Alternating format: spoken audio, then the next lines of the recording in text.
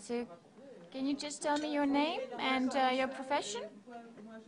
Uh, I'm Richard Cushney from uh, England. I work for French Travel Service, uh, specialist tour operator. We do train holidays to France for individuals. Okay. And you told me that you know France quite well. Pretty well, yes. Okay. But and it's not your first time in this region. No, but most of the places we're going to visit on this tour I haven't visited before, so which is why I Okay. tried to get This is why you wanted to take this tour. to discover a new region and see the possibilities for doing something. Okay. in the region. And how is it going so far? Excellent. It's uh, exceeded all my And he, he's not even paid to say that.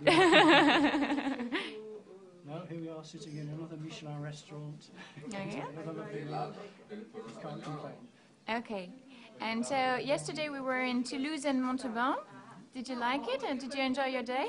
Uh, I loved it. It was a very full day. We never stopped from early in the morning till late at night. But we have to see everything. Uh, Toulouse um, was a beautiful city. We already knew that to a certain extent. But Montauban was a huge surprise because it's not a destination we I knew most of my colleagues didn't know about it, but the welcome we got from the people in Montauban was incredible. It's like the red carpet was rolled out for us. It was almost embarrassing, but uh, we had a wonderful time there. Uh, we've an awful lot of wonderful welcome. Okay. Anything to add?